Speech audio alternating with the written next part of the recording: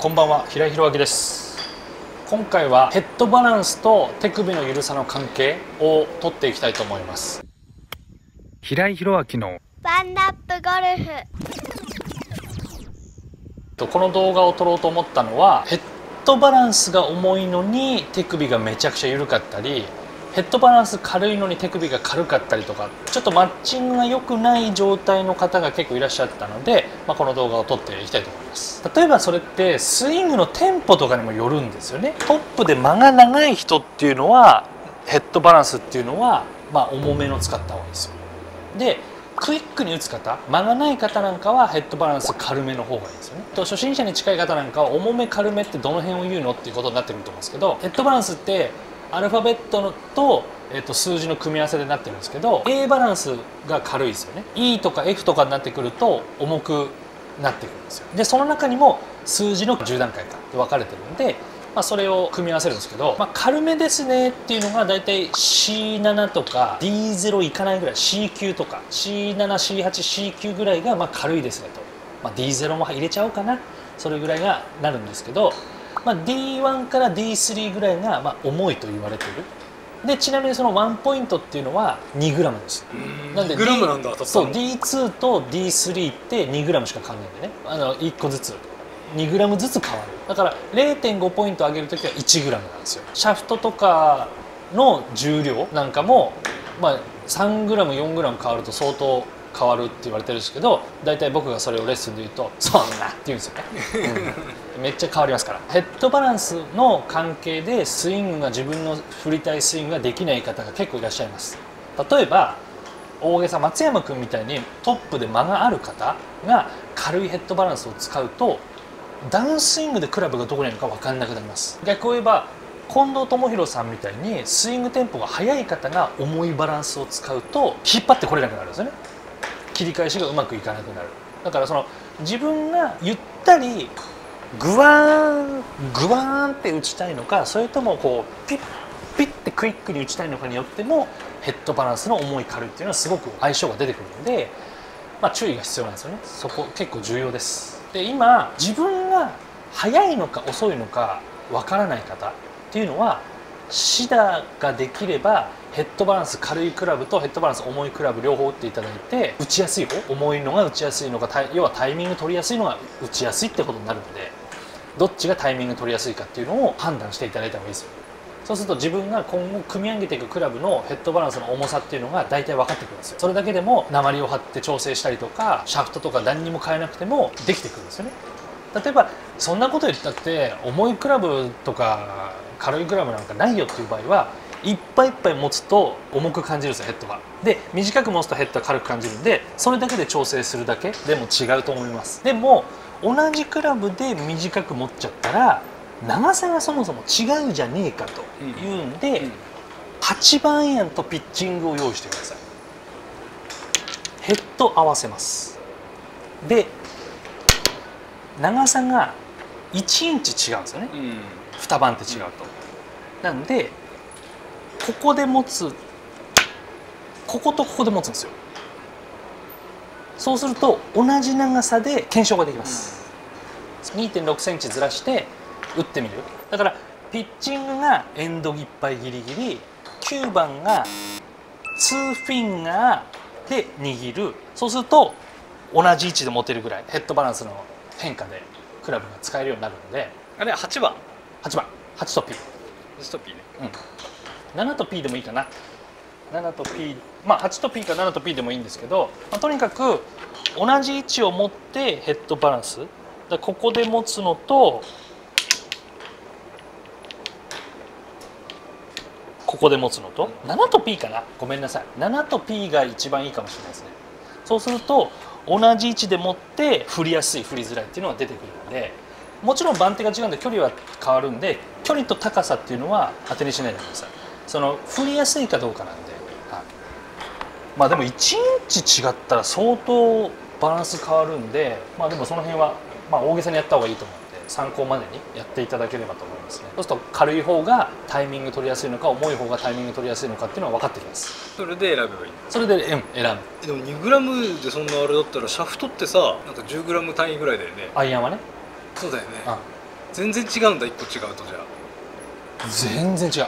全然違う。もうもう本当違う。ああれこれ110だっけ？これ105 105か、うん。その下は？95 90 90 90そんな違うの？だから15違う全然違うんだねじゃあ。そう。だから迷う間があればうん。間行っちゃおうってなるんだよね、うんうんうんうん。だけどそんだけ違っちゃうとあとねラーメンの欠点っていうか、うん。8号がない。7590105間が空いてんの。だからその辺が唯一ぴったりのがないと、うん。みんな藤倉のトラビルに行っちゃいますよ。同じようなのがあんのあるある。あんだ、うん。対抗馬みたいなのがあるへえそれは何？刻んでんの？8号ある、そういうことなんだ、例えばラウネでうん。8号が欲しい時は、うん。90を柔らかい方にバンってずらすか7号を硬い方にバンってずらすかをするんだよね。まあアイアンのシャフトはそういうのは俺はありだと思うんだけど、うん。だからそれをややった方がいい。よねそうするとまあ8号まがいになるというかまあ必要ないから出せなかったんだろうけど、ん。あとはドライバーなんかは、例えば6のうん。S と X で23グラム違うんだよね。うん重さが。そう。硬くするからカーボン巻くじゃない？あーで重くなるそうそう重くなる。バランス全然変わんないやっぱ。バランス変わるね。やっぱ X の方が重く出たりするしあとそもそもカーボンって先の方に詰まってるのね。はいはいはい。スチールは全体的に肉を入れられるわけよ。そうだからカーボンの方がバランスポイントは下なのはいはい。そう。いや全然変わんだ。全然違う。ヘッドバランス。全然違う。だから例えばこれ105じゃない、うん。105でうん。S なのね、うん。でスチールの 105S あるじゃない？うん。スチールの 105S 同じバランスで作る。うん。そしたらスチールの方が軽く感じるから。そっか。あのもっとグリでップ寄りそうそうそう。全体的に重量きてるから同じバランスで組んでもうん。全体的に軽く感じるから、うん。カーボンよりヘッドバランスを上げなきゃいけないってなったら今度重くなるじゃない？なるなるなる。そうそうするとじゃあそもそもそういうカウンターっぽいバランスは合ってないよねってなってくる。スチールシャフトの時は何グラムのどんなんだった110現役の時は127これでじゃあ今スチールにするとしたら？これでスチールにするとしたら、うん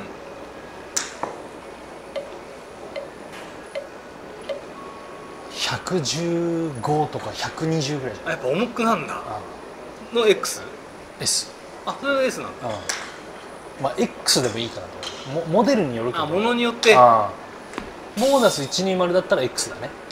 えモーダス120はめっちゃいいシャツだかそうなんでもね個人的にそのこの辺が重いのが好きだから、うんうんうん。だからこれぴったりだったんだけどね。あいいんだ。そう。だからこうスパンっていけんだけどね。あそうなんだ。ねもともとパワーないとうん。全体的にバランスが取れてるシャフトって打てないのよ。要はスチールって打てないのよ。あそうなの？そうだから先が重いとグワーンっていってくれるから非力でも飛ぶわけよ。そっか。そう。クラブの力を使えんだ。そう。だからカーボンだからと飛ぶってなるんだけど、うん。カーボン繊維だから飛ぶとかスチールだから飛ばないとかじゃないんだよね。だから要はその性能でってことなんだよね。はいはいはいはいはいカーボンは結局こっちの合成を強くしたら折れちゃうから、うんうん。うん。それでこっちが強いんだよね。だからいっぱい巻いてんだよね。うんそうなんだ。そう。で結局そうなってるのはカーボンだからカーボンは飛ぶって言われてるんだけど。うーん。理由がそこなんだ。そうそうそうそう。まあそんな距離変わんないけどね。あそう。うん。これぐらい重いと。利点は多いけどねカーボン。なんでカーボン少ないのかなと思っちゃうけどね。あそうなんだ。女性の人でも。めっちゃ楽だけどね、あそう。うん、えなんで楽なのに楽しないのみたいな。いやいろいろやりたいんだよ。なるほど。スチールで、なるほど。なるほどですね。うん、なんだっけ？ダイナミックゴールドの。ダイナミックゴールド。ダイナミックゴールドはもうねアマチュア用じゃないよね。はっきり言って。そうなの？あ。なんだっけ？ダイナミックゴールドの 200? S200 いや S200、うん、130g ね。129g そう。もう大したもんにあれ打てたら本当に。大したもん。大したもんよ。あの打ちこなしてる人は見たことないけど。ね よく聞くよねでもダイナミックゴールドの S200 なんだか。129g よめっちゃ重いからだって亀井さんうんうんうんサロンの、うん。亀井さんで300ヤードぐらい飛ぶうん。で 125g だからね。じゃあもっと飛ばないと 129g そう。まあ相性とかタイミングとか慣れっていうのももちろんあるんだけどね。だからそれはそれでいいんですよ。いいんですけど重いんじゃないですかって思いたくなっちゃう時もありますよね、ごめんなさい。また脱線しちゃったんですけどとにかくヘッドバランスが重くてこうなりすぎてるんですよ。ラグがすごすぎる。これがミスショットを生んでる原因なんですね。で例えばもともと溜める人がヘッドバランス軽いとこうなる。アーリーリリースうん。になる。でノンコックの人がヘッドバランス重いと溜めすぎちゃう。そういうだから関係性ですよね。自分のスイングにそのヘッドバランスが合ってるかどうかっていうのがあのポイントってことなんですよそれがなるべく心地いいバランスを探していただいた方がいいですよっていう動画なんですよね。でも純正が重いんじゃしょうがないよね。そうなの今ね。メーカーが悪くない？まあ、そうそう本当そう。本当そう思います。申し訳ないけど。だって R シャフトに D3 が純正ってありえないと思いませんか？知ってる方だったら多分えって言うと思うよ俺。逆に R シャフトの D3 難しいから。あのまっすぐ行かせるし なっちゃって？のは背中に当たっちゃうんじゃないの？当たるね。あのねバックスイング上げた時に。当たるさブニャンってなって。本当あの練習用のクラブみたいな感みじにな感じ。プラクティスみたいになっちゃう。しかも純正シャフトって R って言ったって R よりちょっと柔らかい。えじゃあ余計だ。そう。で D3 は D3 だから。そうなんだ。D3 に車外も純正もないじゃない？そっか。そう。だから D3 って言ってるけど D0 ぐらいだったらよかったけど。そうなの。車外これは車外だから D0 だよみたいうん。なそんなんだったらいいけど D3 は D3 じゃん。なのにフレックスだけは。柔らかいんだちょっと。そりゃ俺難しいと思うよ。それ純正ってちょっとやだね。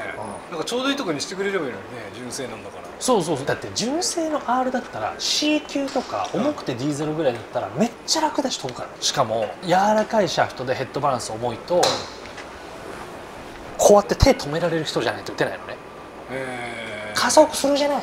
そっか。そうだから余計にねこうなったまま打っちゃうんだよね。はいはいはいシャフトが後ろにしなったままそっかそっかそっかそうそう難しい。そっか。あ無知みたいに戻らせないといけないそうそうそうそうそう。だからこうこうやって打てる人じゃないとうん。打てないよね。